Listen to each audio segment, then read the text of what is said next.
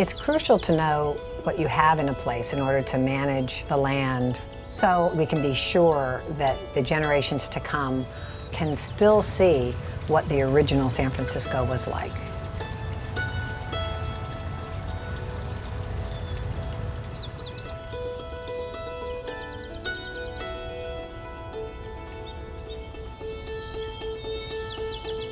When you think about the wildlife of the Presidio, you have to think of the Presidio as a whole because the habitats for wildlife are everywhere.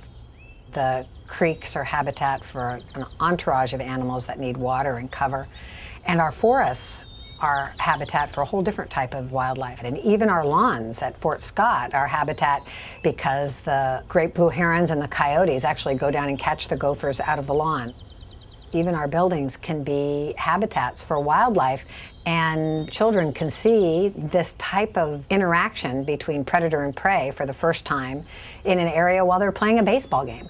So one of the goals of the Natural Resources Program is to try to conserve whatever species diversity and richness and the different habitats that exist in the Presidio now. The important thing is to get that baseline inventory of where these different species are in the landscapes. So now we know we have more than 500 wildlife species and more than 300 native plant species because we've done these inventories. Then monitoring is a totally different thing. We take a fragment of what's going on either with a species or with an ecosystem.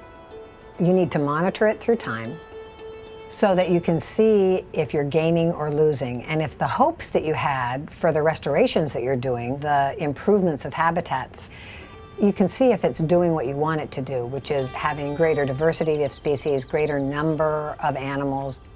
Unless we had this inventory and monitoring program, we would have never known how many different types of species there are here.